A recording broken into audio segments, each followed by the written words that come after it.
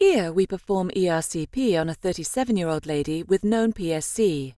She was admitted because of pruritus and elevated biochemical parameters. Remember, before we start any endoscopic intervention in PSC, we should administer antibiotic prophylaxis to prevent procedure related sepsis.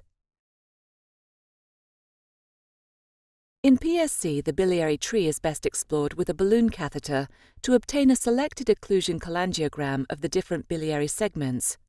This is because the high resistance of intrahepatic fibrotic stenoses impairs filling with contrast medium.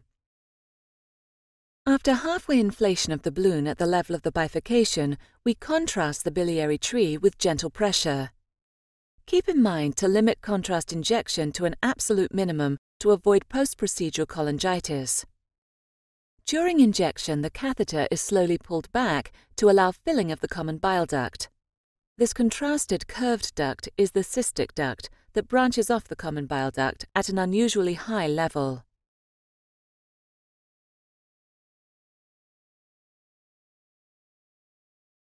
Look, without inflation of the balloon, large amounts of contrast medium just flow back into the common hepatic duct and eventually fill the gallbladder.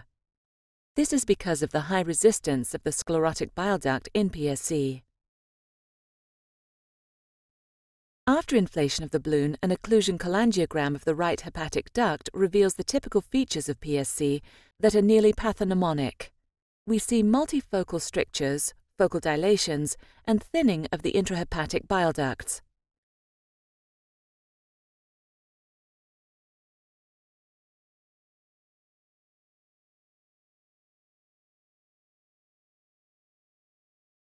Have a close look at the biliary tree. We see multiple strictures, but also a paucity of intrahepatic bile ducts with typical thinning in the periphery. During slow withdrawal of the halfway blocked balloon catheter, we identify the left hepatic duct with a long segment stenosis. This dominant stricture has a length of 25 mm and appears somehow distorted and destructed. It is virtually impossible to distinguish between a malignant stenosis and non-neoplastic PSC strictures as they have the same macroscopic appearance. While short intrahepatic stenoses are good indications for dilation, strictures with a length of more than 15 mm have a rather poor outcome after endoscopic treatment. However, considering the new onset of clinical symptoms, we give it a try. After exchange of the hydrophilic guide wire with a biliary wire guide, a dilation balloon with 30 mm length is inserted. The markings on the balloon catheter identify the proximal and distal ends of the balloon. The balloon is positioned right within the stricture and inflated to 4 mm. The stenosis is indeed very tight and during dilation for 60 seconds. Here we see the contrast medium within the balloon.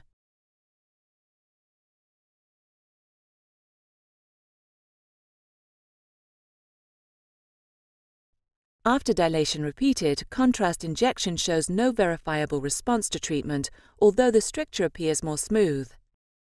At this point, we decide to finish the procedure today and proceed to dilation up to 6 mm if clinical symptoms do not improve during follow-up.